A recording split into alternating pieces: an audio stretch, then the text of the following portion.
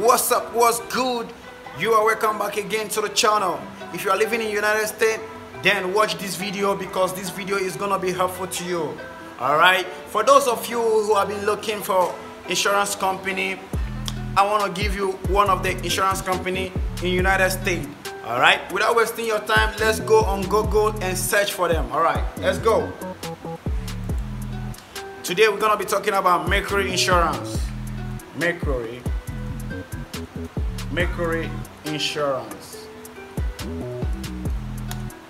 Boom here we go. Once you type their name on google it's gonna pop up like this. All right let's see. Mercury insurance auto home business insurance and more. That's all it's all about. Okay get a quote. Make a one-time payment.